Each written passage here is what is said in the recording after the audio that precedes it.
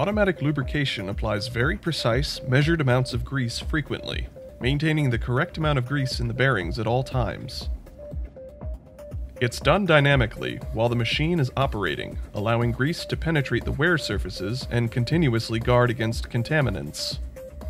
The basic Centromatic system consists of a pump to supply lubricant under pressure to the injectors through the supply line. The injectors deliver lubricant to the bearings through feed lines. Using the latest system technology shown here, the lubrication cycle is initiated by a controller built into the pump. The pump will run until sufficient pressure is reached at the end of the line so that all injectors cycle and supply lubricant to the lubrication points. Once all injectors cycle, the system begins to vent.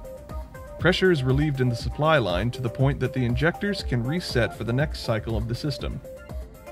Venting is made possible because of a vent valve, which in this case is also built into the pump using our newest system advantages.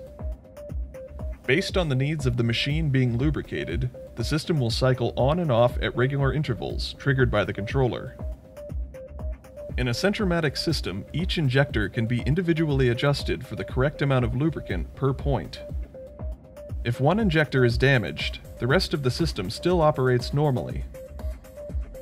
An additional pressure switch or transducer can be added to the end of the system's supply line for larger applications requiring up to 75 feet of 1 4 inch supply line. Monitoring at both ends of a larger system ensures all injectors dispense during the lube event.